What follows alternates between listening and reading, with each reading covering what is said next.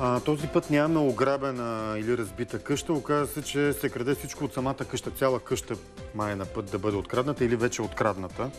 Всъщност става въпрос за една къща, от която е свалено всичко. От покрива до основите. Всичко. Действието се развива в Видинското село Медовница.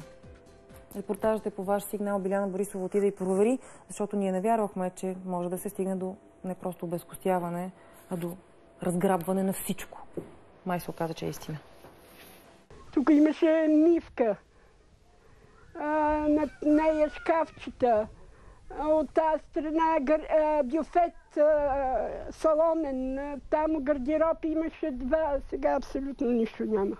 Така че сега ми е много тежко, но няма начин.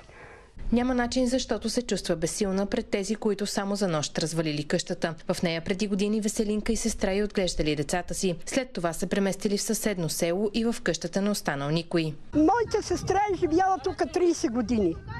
И, и с а, мъжа си са градили, направили къща доскоро, преди два, а, три дни. Къщата ни беше здрава, с прозорци, с а, врата, с всичко. И от всичко останало нищо. Кръците откраднали дори и тухлите. Развалили покрива и щупили керамидите, за да извадят дървените основи. Кметицата на селото заварила няколко души около къщата. Уж тръгнаха. И това станало през нощите сигурно. През предната нощ и следващата нощ. Значи за две нощи. Просто е свалено всичко. При опита ни да попитаме съседите дали са видели кой е крадеца, те станаха агресивни. Кой краде, нека да му си води грижата, али, какво сега ще снимат, аре бе! Ще щупим камерата! Чакай, спокойно! Ли сте видяли? Кажи сега, кой краде тук? Ей, я не знам. Нищо не знам. Я не одем да видим. Има си... Да, нек ми снимат. Не знам нищо. Кой краде, кой не краде, не знам. Не ми се интересувам. Ама краде ли се тук? Не знам изобщо. Я не съм тук да командам селото. Кметицата на селото твърди, че е подала сигнал в полицията. Обадих се на един Мирослав. Той каза, Павлина, в момента нямаме бензин, не може да дойдем, но утре ще дойдем. За вчера. Ама утре, нали аз ти казах беше?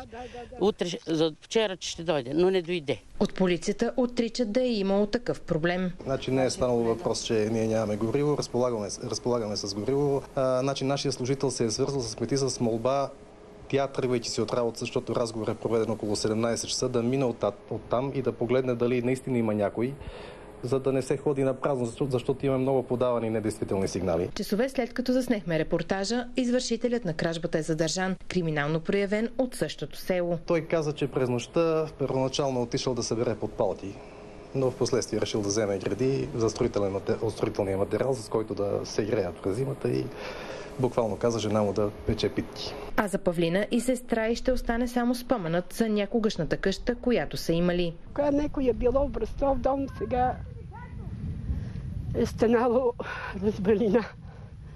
Вече не ми се идва тук и няма и да минеме повече. Селата се рушат, отиват си.